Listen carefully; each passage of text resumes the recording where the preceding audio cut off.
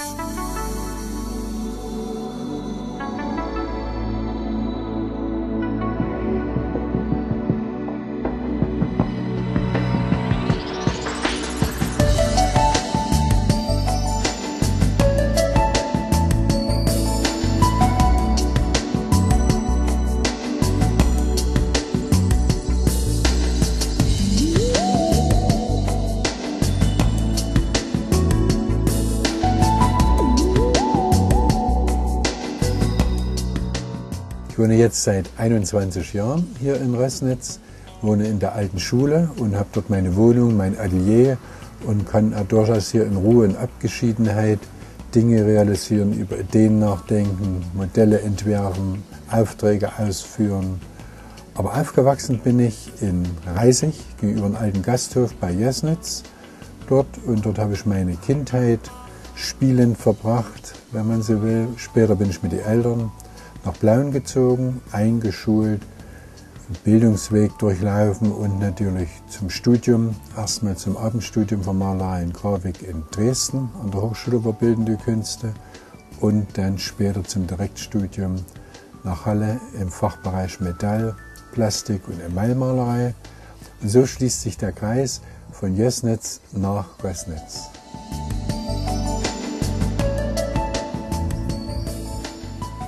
Ideen und Inspirationen kommen einem natürlich oft im Gespräch, im Dialog mit der Familie und so weiter. Und natürlich kann Literatur eine Rolle spielen, Film, Fernsehen, eigentlich alle Genre der Kunst, das Theater, die Musik, die das Fundament bilden, kann man sagen, für kommende Entscheidungen, mit denen man sich im Wettbewerb befindet oder auch in der Bildung.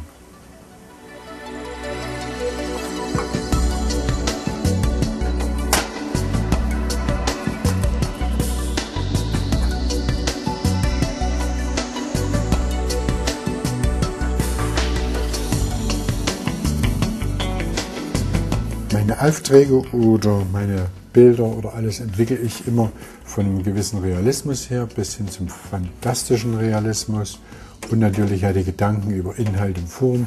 Was lässt das Material zu?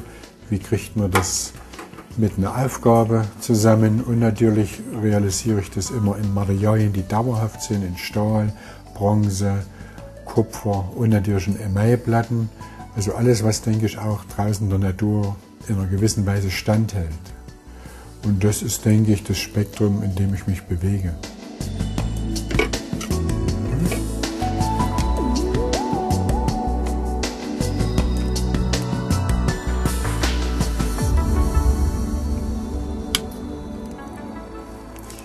Meinen jetzigen Auftrag habe ich aus der Kirchgemeinde Elsterberg erhalten, für die ich die Glockenzieher gestaltet, für die Laurentiuskirche. Und es resultiert daraus, dass viele Glocken in den Weltkriegen eingeschmolzen wurden zu Rüstungszwecken und ich jetzt mit der Gemeinde gemeinsam über Inhalt, Form der Glocken nachgedacht habe und die Zier entworfen habe, die jetzt äh, zum Abschluss kommt. Natürlich mache ich auch nicht nur Aufträge, äh, Eigenaufträge, je nachdem, wie es die Zeit erlaubt. Zum Beispiel hier eine Skulptur. Das mache ich mit einer genauso, genauso großen Ernsthaftigkeit wie ein Auftrag, da mache ich eigentlich keinen Unterschied zwischen den beiden Dingen und ist, denke ich, ja gut so für die Auftraggeber, das zu wissen.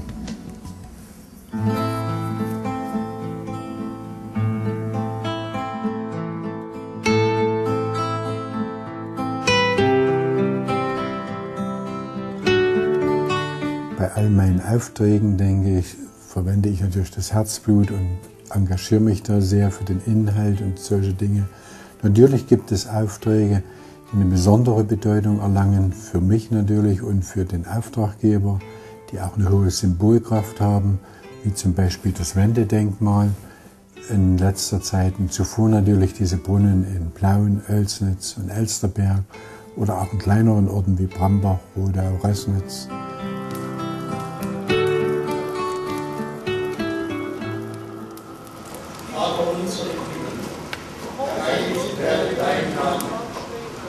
Rössnitz.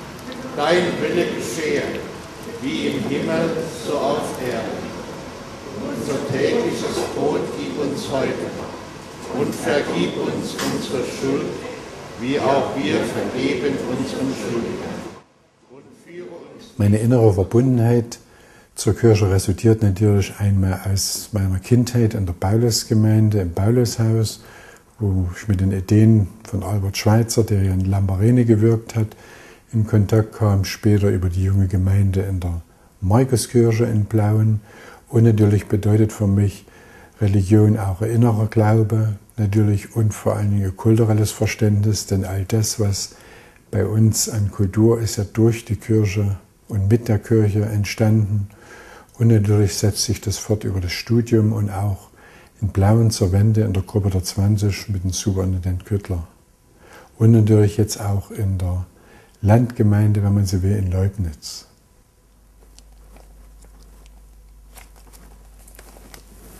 Natürlich interessiert mich die große Politik, aber ich denke, genauso wichtig ist das persönliche Engagement vor Ort in dem Umfeld, in dem man lebt. Da hatte ich mein Zündungserlebnis, wenn man so will, bei der Gruppe der 20, beim Engagement im neuen Forum, Bündnis 90 Grüne. Und das hat sich jetzt fortgesetzt in der Bürgerinitiative gegen Gesteinsabbau und Unterstützung vieler Aktionen oder Aktivitäten in, innerhalb der Natur vor Ort hier.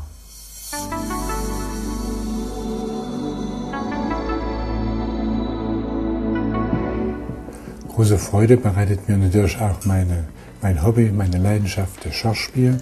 Das begleitet mich schon seit Kindheit und Jugendzeit. Das habe ich im Hort gelernt und gebe natürlich vieles davon jetzt weiter als Übungsleiter an Kinder in unseren Verein und natürlich spiele ich selbst noch beim SK König Blauen aktiv Schach.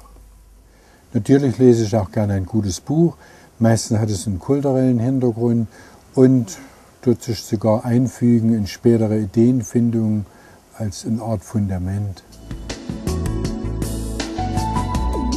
Also Ärger in dem Sinne habe ich keinen oder kenne nichts, sondern ich wünsche mir der eher, dass sich mehr Menschen praktisch engagieren. Das sind, denke ich, noch sehr wenige. Und da denke ich, gibt es noch viel, viele Reserven, wo man die Gesellschaft insgesamt, ob das jetzt im Sport und der Kultur ist, besser machen kann.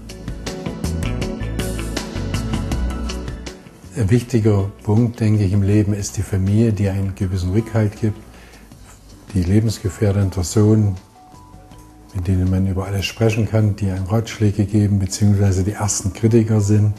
Und man kann sich natürlich austauschen über alles. Und das, denke ich, ist für mich von großer Wichtigkeit.